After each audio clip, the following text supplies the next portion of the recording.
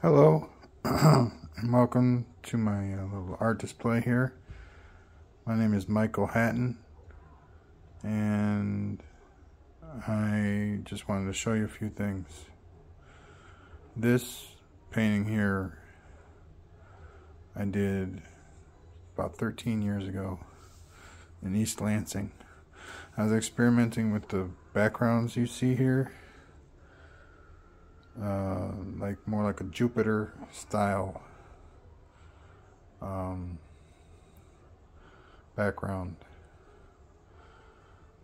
But you can kind of see there's ground there and then a sky there. A little bit. I don't know if that's what I was intending. Moving right along, moving right along. This is a, another interchangeable uh, piece. You can put it any way you want. It's made on burlap canvas, oil paint.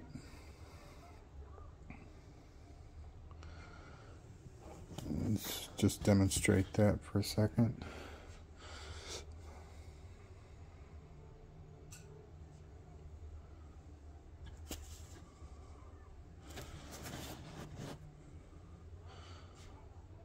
Nice. See, there's some crosses when you flip it up the other way.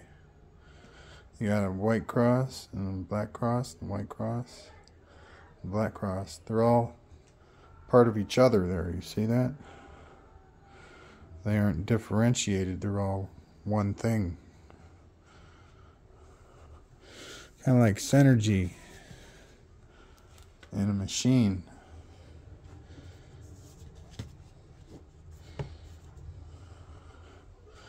Here we have a mountain range. Uh, I like this one very much.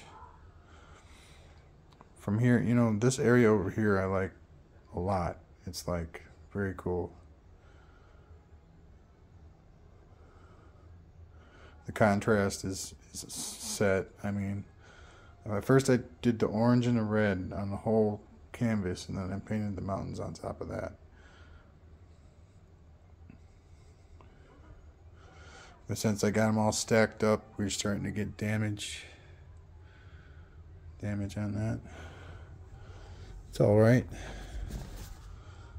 It's all right to me. Sure. I got nowhere to put these things. I like them, so I keep them. But, uh, got a landscape here of like a plain with, uh, waterfall. The clouds are nice. I like how the clouds turned out. Uh, nice horizon. I'm not sure I got those colors right, but I think I did. Very cool.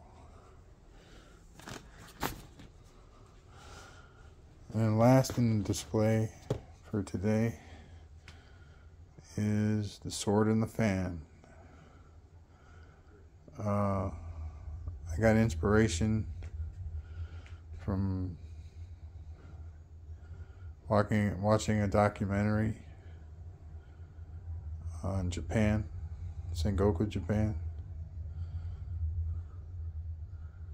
And that is uh, all I have to show today.